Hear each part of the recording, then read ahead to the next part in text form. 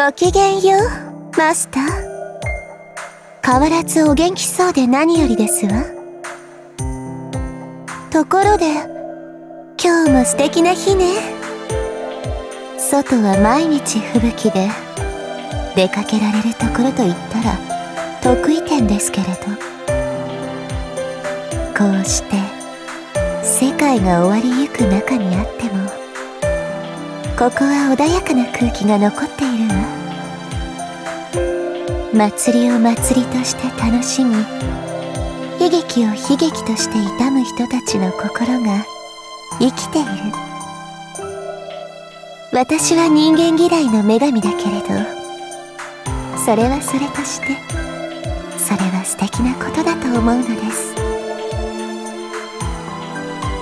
はあ反応が悪いのね。ここは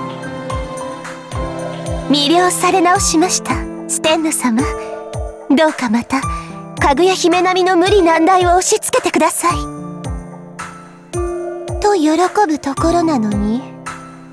まあいいわ。そういう人だものね。あなたは。どうぞお受け取りくださいな。鈍感な人。